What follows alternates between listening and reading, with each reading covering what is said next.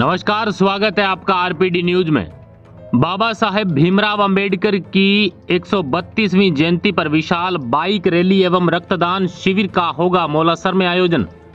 संविधान के निर्माता एवं हम सभी के प्रेरणा स्रोत बाबा साहेब भीमराव अंबेडकर जी की जयंती व राजस्थान विधानसभा में नेता प्रतिपक्ष राजेंद्र राठौड़ के जन्मदिन के उपलक्ष्य में मौलासर में आगामी 14 अप्रैल को Bachpan and seven star convent school में विशाल रक्तदान शिविर का आयोजन किया जाएगा। इसके साथ ही इस अवसर पर विशाल बाइक रैली का भी आयोजन रखा गया है। इस अवसर पर और इस अवसर को ऐतिहासिक व यादगार बनाने के लिए तैयारियाँ जोरों शोरों पर चल रही है।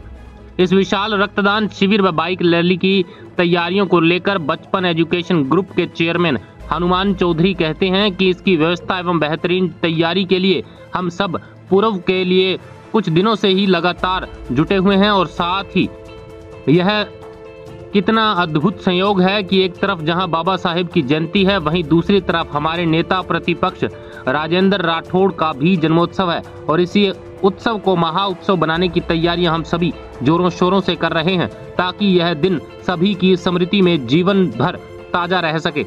इस अवसर पर आयोजित होने वाले विशाल रक्तदान शिविर की चर्चा हर जगह हो रही है, और ऐसी उम्मीद की जा रही है कि इसमें कभी और सभी रक्तदाता भारी संख्या में बढ़ चढ़कर हिस्सा लेने वाले हैं।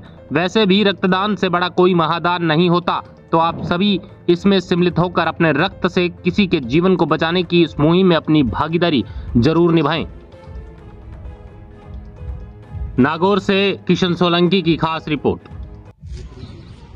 अभी ग्राम निमोद में कल अंबेडकर जयंती को लेकर होने वाली भव्य बाइक रैली के लिए सभी कार्यकर्ताओं से मिलना हुआ।